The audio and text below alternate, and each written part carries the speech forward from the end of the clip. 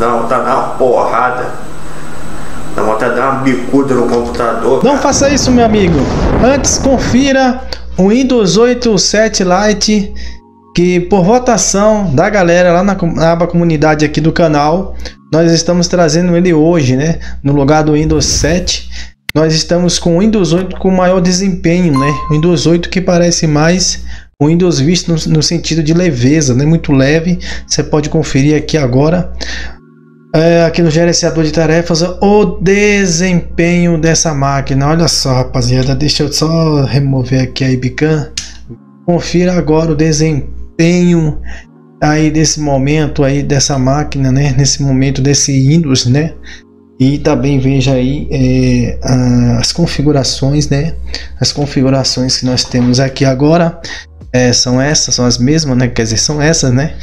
Há 11 anos que eu tenho esse notebook de tão bom que é essa versão, tão leve, tão bem otimizada, tão maior desempenho.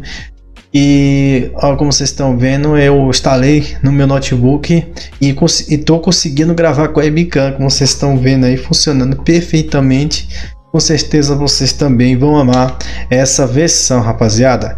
Aqui em colocar o C é, em arquivo 86, aqui você vai achar fácil essa aba aqui, Stallback, né?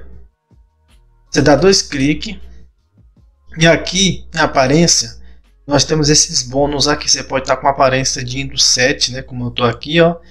Não é Windows 7, é Windows 8, rapaziada. Então você pode ver que aqui é Windows 8, né? Ah, Aquela aparência né, de antes era muito incômoda, né? Para algumas pessoas, para mim também é. E você pode colocar o trevo aqui, rapaziada. Você pode mudar a cor aqui, colocar uma cor assim masculina, né? Tava colocando uma cor assim feminina, pra, só para para título de exemplo, né? E fica bacana. Tem a opção também de deixar mais transparente, né? Mais transparente possível aí, ó. Deixar nessa fazer várias mudanças. Então, galera, tá muito bom. Faça o teste hoje mesmo e fazendo uma pequena observação aqui, ó. Você instalando aí, fazendo a formatação e não, se não atualizar os drives, tem esse programa aqui muito bom, 3DP, que atualiza é, os seus drives de, de rede de forma offline, mesmo que você não tenha internet, ele vai estar tá aí fazendo atualização. Muito bom, pessoal, super recomendo. Eu quero parabenizar a equipe Help Tuto e Red Global Gamer pelo trabalho. Está excelente o trabalho que vocês fizeram nesse Windows e estou aqui compartilhando aqui como sempre aqui no canal. Eu super recomendo, galera. Valeu? Tamo junto.